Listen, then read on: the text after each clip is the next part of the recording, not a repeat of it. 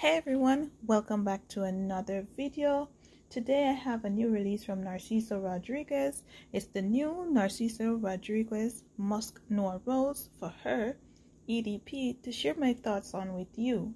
On my channel I talk about mostly fragrances, especially new fragrances.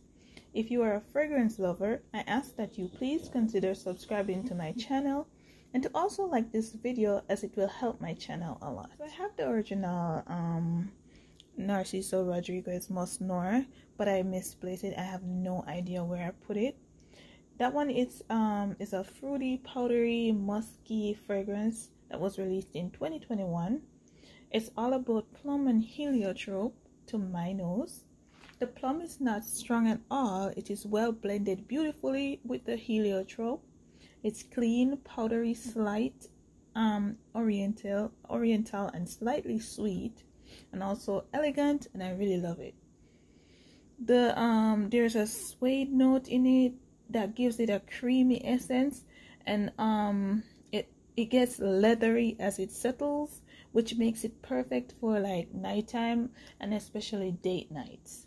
The musk is very sweet and light and this fragrance is good for lasting.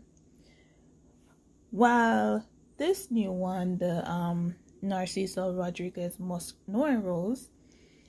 This one um, have a darker juice which maintains the plum note and in um, the heliotrope is replaced with rose.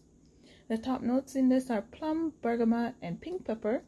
Middle notes are musk, um, rose, and tuberose, and the base note is vanilla.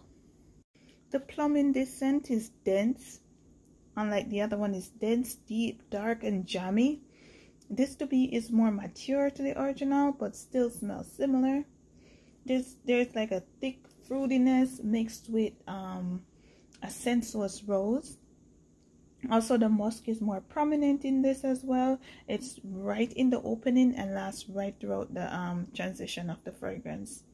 I find this scent to be warmer, more um, uh, more sweet than the original. Also, there's a, a citrus note in this from the bergamot like in the opening as well.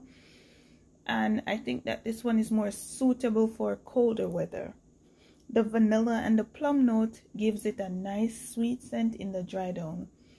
I really do like them both and you can definitely add this one to your Narciso collection.